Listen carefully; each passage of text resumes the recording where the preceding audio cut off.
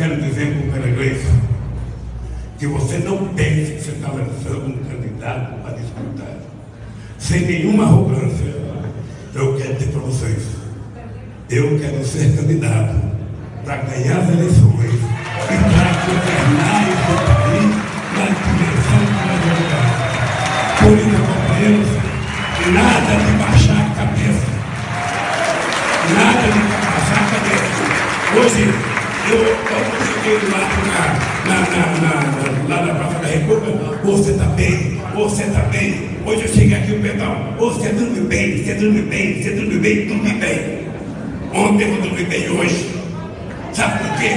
Porque é o sono de quem tem a consciência limpa. É o sono de quem tem consciência de que sendo julgado pelas coisas boas que fez nesse país e pelas coisas boas que poderá fazer nesse país. Não estou sendo julgado por nenhum delito. E eu duvido que eles encontrem um delito da minha vida. Aliás, eu tenho um muito grande, sou do PT.